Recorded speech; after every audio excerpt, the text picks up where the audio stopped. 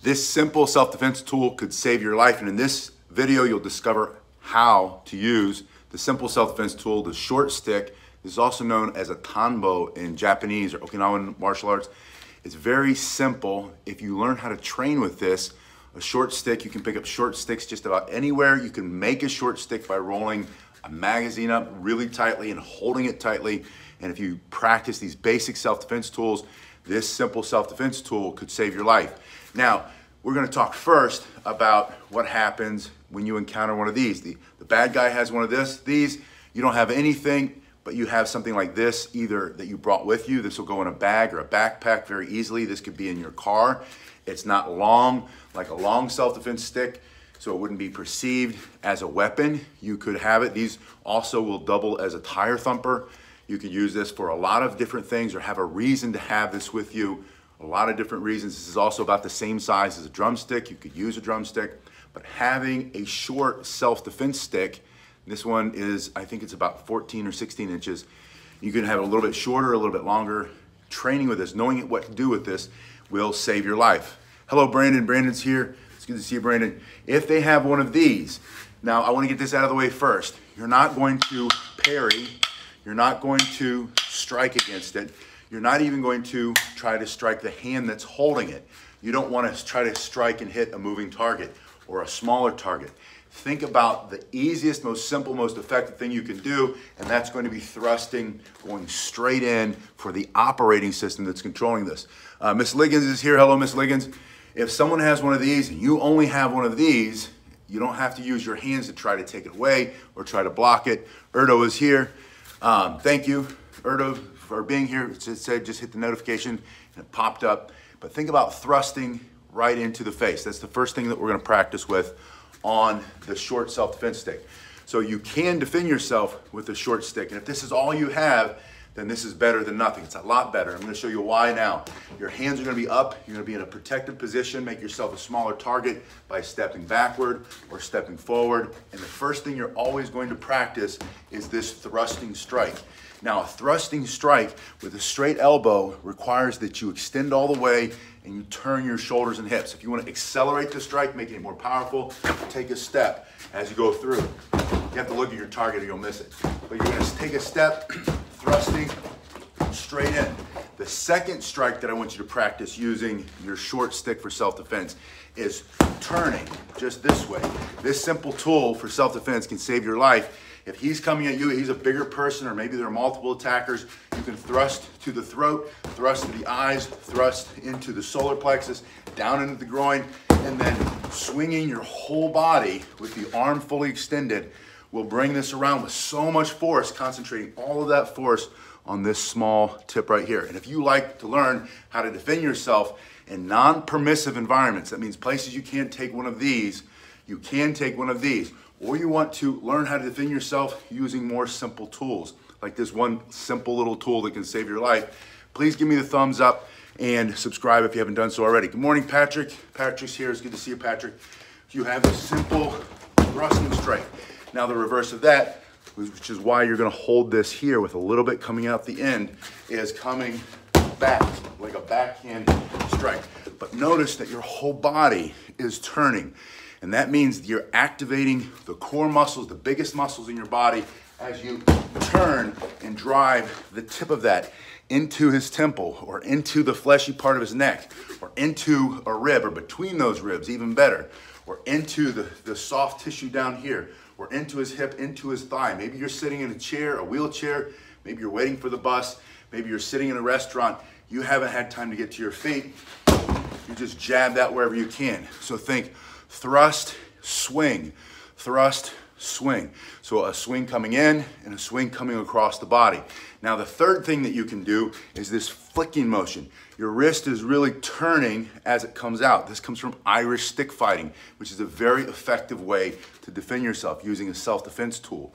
So bringing this here, you can roll that, snapping that right into the side of his face, into the eye. Um, yeah, Lugo is in Ireland, right? Yeah, Lugo will tell you this is coming straight from Irish stick fighting. This turning, rolling motion, smashing, very fast, very effective. Can remove an eye for self-defense. It's very disorienting. It can slow him down long enough for you to bring another strike, two or three strikes in, and defend yourself. So you can defend yourself, save your life with a simple self-defense tool.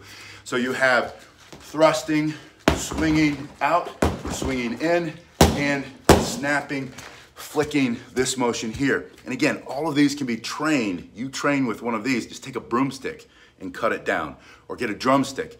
That's the perfect size. Something simple, something light, something basic. And then you can work with any short stick that you can find in your daily environment. Again, a magazine is a perfect choice. You take that magazine, starting with the pages that open, and you roll it all the way until it gets to the bottom, the spine, and then you hold it very tightly, and you have some very powerful striking surfaces, very powerful uh, striking tool. And the nice thing about a magazine is that the, the cover is usually made of a material, the way it's printed, that it won't slide through your hand. And in fact, this won't slide either. This is just a dowel rod that you get at a do-it-yourself store or a Home Depot here, like a big box, one of those stores. Or like I said, use something that you already have lying around the house, around the apartment, cut down an old broomstick or mop handle, and you've got the perfect tool to practice with, and then put it in your bag, bring it with you, put it in your backpack, wherever you go, you have some self-defense tools. Um, all right, so from here, we talk about thrust. You've seen your swing out, swing in, rolling here. I want you to now put two hands on it and using two hands, lower yourself. So change levels, bend your knees, get a little bit lower than him. That's gonna give you the advantage of more balance and more power. It's almost like, think about the springs in a car, the springs on a bus. You're loading the springs, and now you're gonna unload them. You're bending the knees, and you're going to come back up with an explosive motion as you move in and into his midsection. If you thrust here, that stops him. Strike him in the head here, bring it back this way, roll it into the face a couple times, and then lower your body and bring it up. Either coming through here, if you wanna finish the fight, that's fatal. So uh, disclaimer, this is self-defense. This is not a street fight, this is not a bar fight. This is to defend your life. You have every right to defend yourself, but make sure it's warranted. But you're gonna come up here, stick it right into the solar plexus, knocking his wind out, putting him on the floor.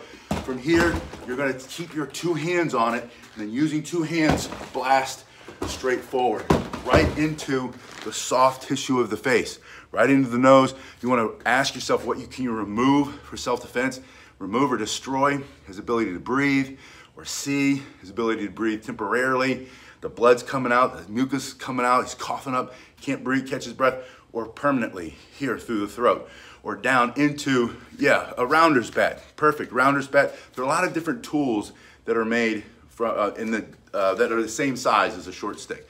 But the key is you can defend yourself with this, save your life with a simple self-defense tool. You're coming here, coming here, and then while you have this leverage, you can bring your elbows in, you can drop your elbows here, you can bring your elbows down, and because you're holding your stick like this, you have more strength, more power in those hands. Singe Man, hello, it's good to see you. This is Sparta. Singe Man says, I love that. Remember, please give me the thumbs up because that helps me grow this channel, helps me grow this uh, virtual dojo that we all belong to.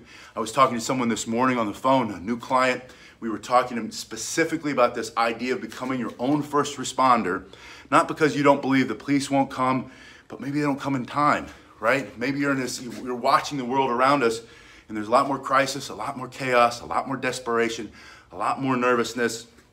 People do crazy things when they're desperate and nervous, hungry. I can't believe how many people are skipping meals or, or can't afford to buy meat, right? I mean, these are real things that are uh, going on. Thank you, Miss Liggins. She said three thumbs up but just this idea that you need to have a couple of extra skills, a couple of extra simple tools. And this simple tool can save your life if you learn how to train with it. And again, train with this, and then wherever you are, you'll find different versions of a stick. A simple stick is better than nothing, especially when one of these comes out. Now, one more things to do with this, or that I want to talk about, right? The most common attack with one of these, this is something that we now know because there's so many cameras everywhere. Law enforcement has been writing it down. They look at everything that's happening. Self-defense experts in a certain field, the highest level, have determined that this slashing attack from here to here is the most common. Like 70 some percent of all attacks come this way. And then we go into thrusts and we go to stabs and all of the other things. Now, this is true of almost any weapon strike or anytime someone swings at you or goes to hit you, you're going to do one of three, th- three things. And we're going to break that down a little bit, but not too much. You either will freeze or you'll flee, you'll run, or you'll fight, right? And we want to train so that you can respond to what's happening. We want to go to fight.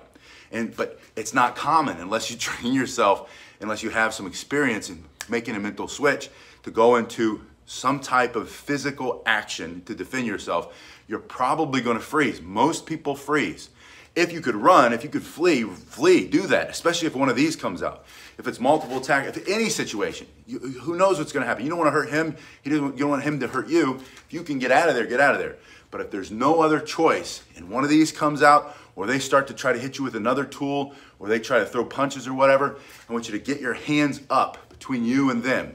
And ideally, you're going to have this one simple tool that can save your life. You're going to have this up. Now, when you do fight, it's going to be instinctive. It's instinctive that when you see this coming, most people will recoil.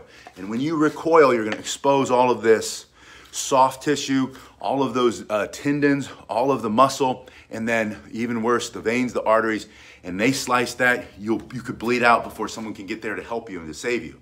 So instead of recoiling, I want you to go in. And when you go in, the hand that is not holding this tool can go to your head. I want you to put your helmet on. So your hand is just here touching your head. That's going to brace. But that also means that when this weapon comes out, they're going to be slicing this, which does not have all of the veins, all of the tendons, all of the arteries. There will be some in there, there will be some muscle, but it's not nearly as bad as this. So you're going to cover up, put your helmet on, and go forward. At the same time using the one uh, simple self-defense tool that could save your life you're to thrust that into his face. Now if he's swinging like this and this is coming to his face at the same time his hand isn't coming that far. His body will recoil. He'll have to go back as you either put it here this could be permanent this is fatal it doesn't take much to crush that or you put it into that solar plexus but the idea is i want you to train yourself to practice moving into the attack and not moving back. And then you say, well, what if his goal is to do this over and over? And it's going to be the same thing. You're not going to have a choice. If you turn and run and he catches you and tackles you and he's doing that anyway, it's going to happen. Instead, I want you to thrust coming in here. You can start swinging. You can do all of these motions. You can strike with this elbow. That's why this is here. Put this hand here. Start to thrust here. Start to strike here do your swinging, slashing attacks this way, roll that into the face, and you've got to practice this roll motion. And then let me know in the comment section below because this is how this channel grows and this is how I learn from you. Get yourself a short stick, the simple self-defense tool that can save your life, and I want you to go, go slowly first. If you haven't done this, don't start snapping like that. You're gonna feel it here and you're gonna feel it here. But if you go slowly, just a little at a time, a little bit quicker, and a little bit quicker. And then come back and tell me in the comment section below, how strong does this feel? What would it feel like if you got hit in the face with this motion? Would that make, would you keep coming or would that be enough to back you up? And you wouldn't stop with that, right? You might hit it one, two, three times and then come in with the other strikes, drive them off, thrust that through and finish them off with that yeah, Miss Liggins says we don't want any injuries at all while using the short stick. When you train, I don't want you to have any injuries, period, because injuries slow down your training. So everything is slow, medium, fast. Crawl, walk, run. Or slow is smooth, smooth is fast. That's why we say that over and over. Slow is smooth, smooth is fast. Always do your first five or 10 reps here, and then do another five or 10, a little bit quicker, and then See what kind of speed and power you can make with that basic motion. Notice that the stick always stays between you and the threat. You guys have been awesome. I will see you in just a little bit. We're gonna do another one of these either today or tomorrow.